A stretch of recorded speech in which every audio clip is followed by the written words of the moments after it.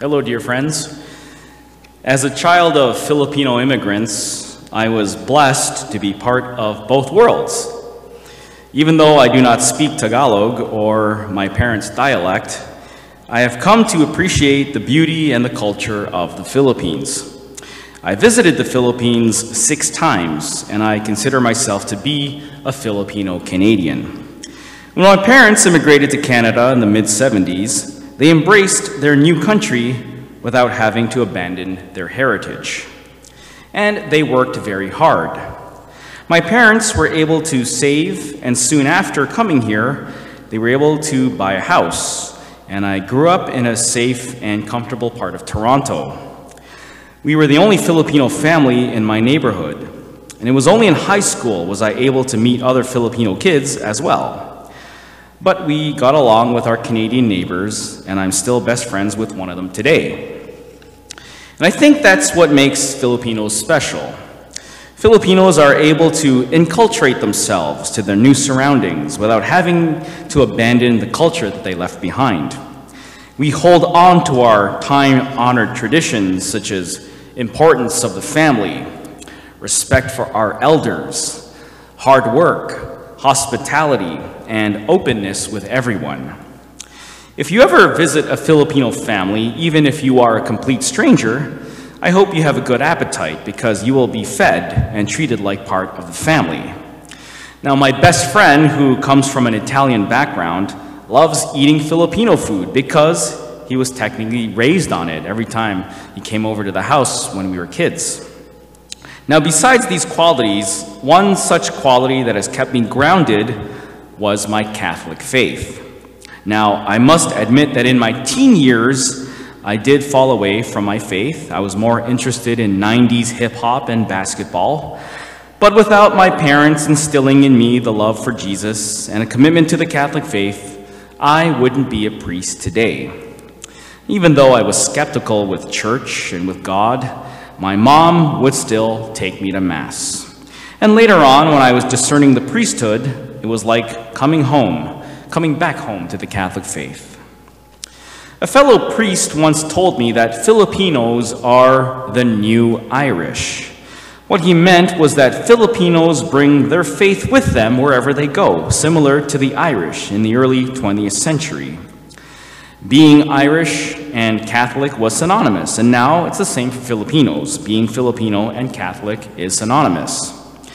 Now, proof of this is evident among any Filipino that you meet in the world. Every Catholic Filipino household in the world has a special shrine to Santo Nino, or a large rosary on the wall, or a big statue of Our Lady. And so Filipino Catholics are proud to show their faith with others and to share it with everyone they meet. Many parishes in our archdiocese are home to thriving Filipino families and communities, such as the community in St. Barnabas in Scarborough, to St. Michael's Cathedral downtown, uh, Our Lady of Assumption, and to my little parish here in Orangeville. For many Filipinos, it's like a badge of honor to be Catholic, and many of our younger generation of Filipino youth have a sense of morality instilled in their hearts. For example, a few years ago, a group of young Filipino people from, uh, from Toronto came to the parish while they were on retreat, and their central theme was chastity.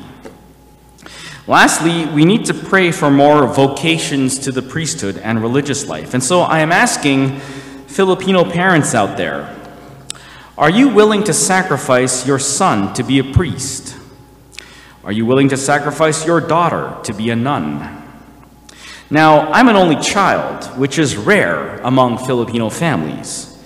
But after becoming a priest, I now have so many spiritual siblings and children. And that, my friends, is, the one, is one of the great gifts of the holy priesthood and religious life. And so, parents and children, be open to God's call and never be afraid to say yes to God if this is what He wants for you and your children. Finally, as the first Canadian born Filipino priest to be ordained for the Archdiocese of Toronto, I humbly ask you to pray for me and my brother priests of Filipino Canadian descent, especially for Father Joshua Roldan, Father Michael Corpus, Father Matt McCarthy, who is the Vocations Director for the Archdiocese of Toronto, Father Martin DeQuenco, Reverend Mr. Kevin Adriano, who will be ordained a priest this year, and Matthew Tullio, who is in his spiritual year at the seminary. Serving God as a priest or a religious sister is truly a rewarding and beautiful gift. And so, my dear Filipino friends, let us continue to be new ambassadors of faith. As new ambassadors of faith, whether as a priest, a religious sister, or a devout Catholic family, we will carry out the salvific mission of Christ by spreading the good news to the world. Let us pray for each other, especially when we face challenges. We need to help each other in self giving, and we need to bear our crosses and carry them with pride, faith, and commitment. And for this Holy Tuesday, we learn what it takes to bear the cross with commitment through the Apostle Peter.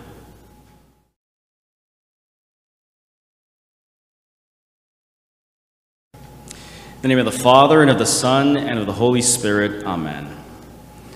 My dear friends, my name is Father Louis Calleja. I am the pastor of St. Timothy Church in Orangeville, and on this Holy Tuesday, we hear John's account of Judas's betrayal of Jesus, as well as Peter's forthcoming betrayal.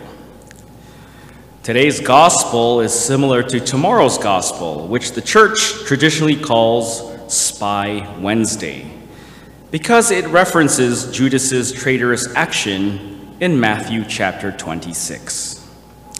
Now, the two most memorable apostles during the Passion narratives, besides John, is Peter and Judas. Both were similar in action, but both were different in terms of character and motive. Now, people often ask, what was different between Peter and Judas? But before we can answer that, we first need to see their similarities. Both were close apostles of Christ. Both loved our Lord, and eventually both betrayed him. However, Judas betrayed our Lord due to malice, while Peter betrayed Jesus due to weakness. Now, another question people ask is, what was Judas's motive for betraying Jesus? Robert Cargill, assistant professor of classics and religion and editor of Biblical Archaeology, Archaeology Review, says it depended on the gospel writer. He says, quote, like the Gospel of John, Luke also cites Satan's influence, rather than mere greed, as a reason for Judas's betrayal. John, however, made clear that Judas was an immoral man even before the devil got into him.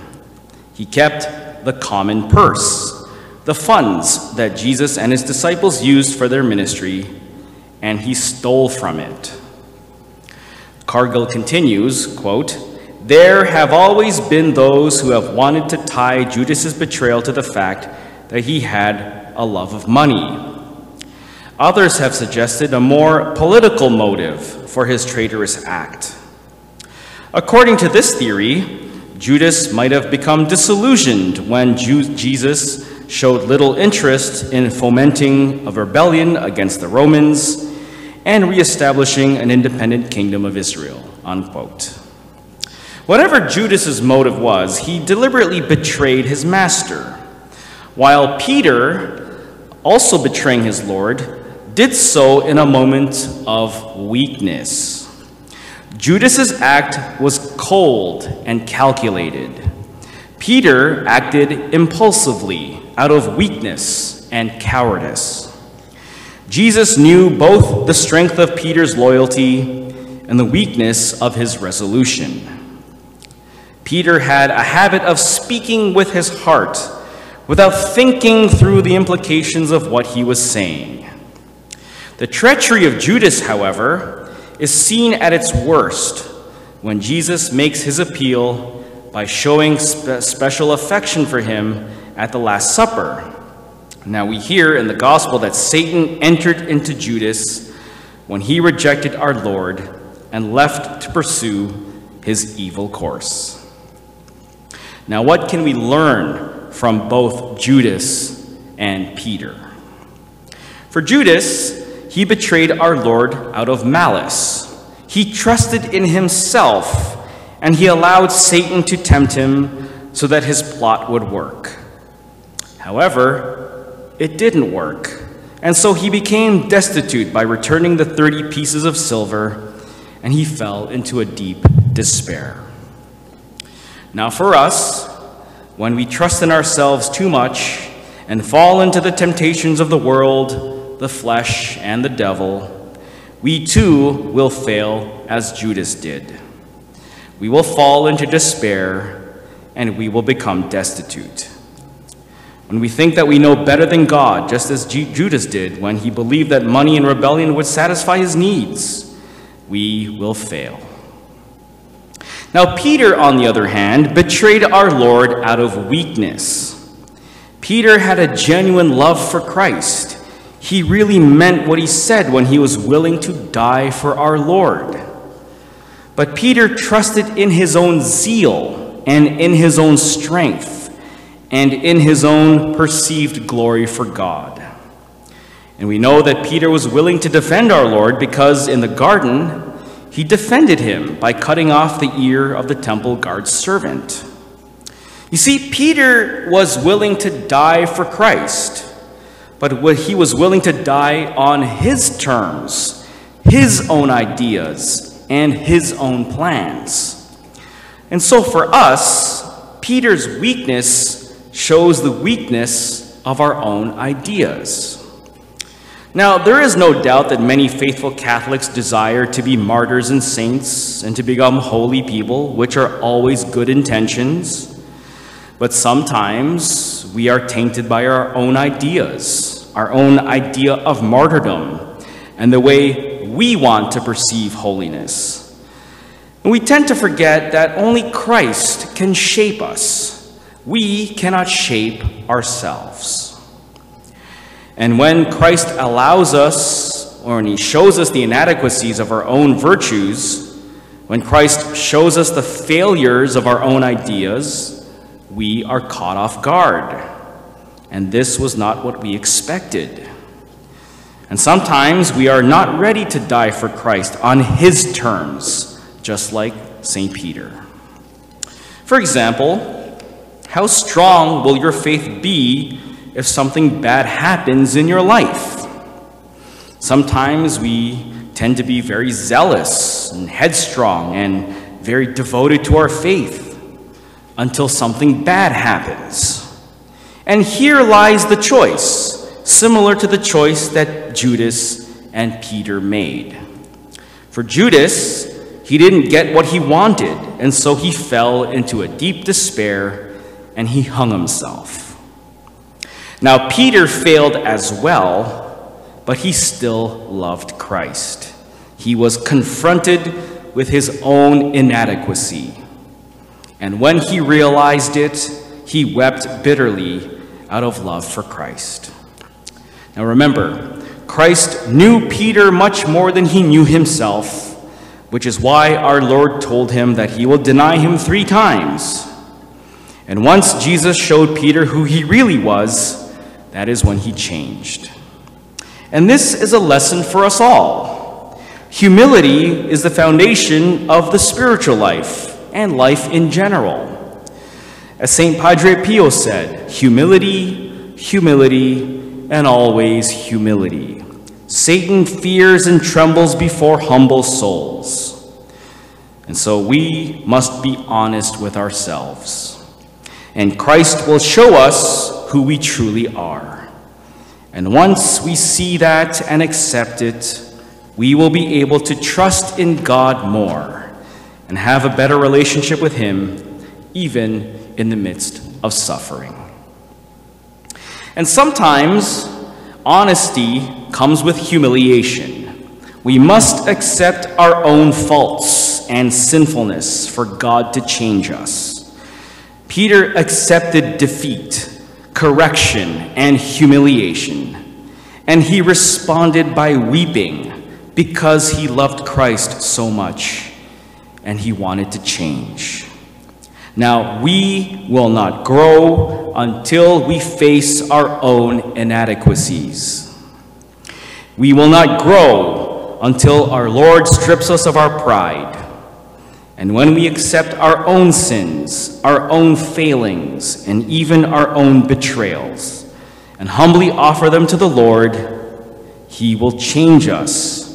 And He will ask us the same three questions that He asked Peter Do you love me? Do you love me? Do you love me? And when we respond, Yes, Lord, you know that I love you, we will be ready to give up everything, even ourselves, to follow Christ.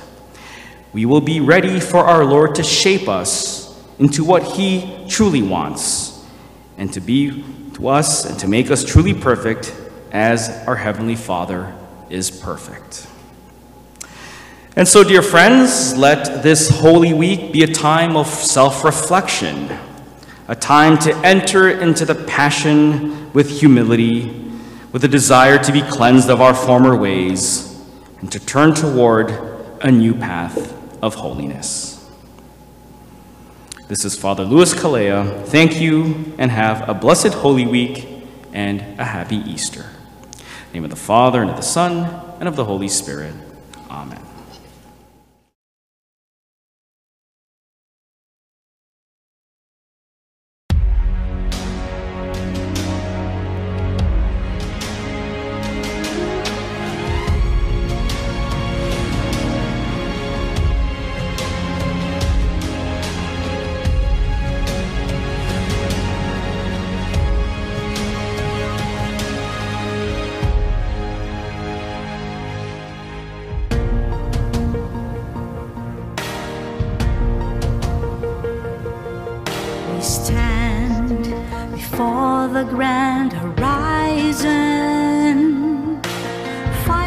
500 years of faith, grateful today.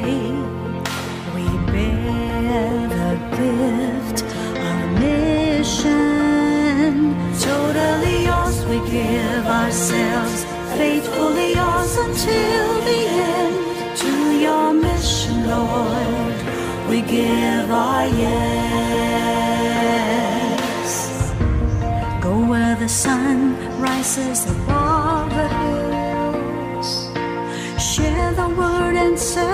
those who are in need. Let the morning star accompany your way. Spread the fire of mission for the Lord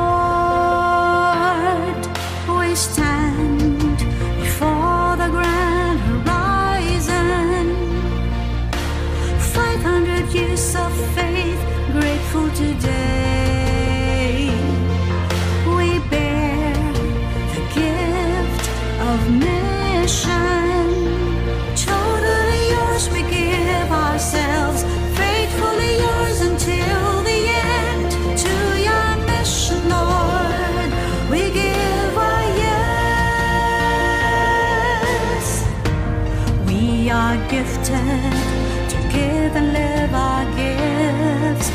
Mercy, compassion, justice, and peace.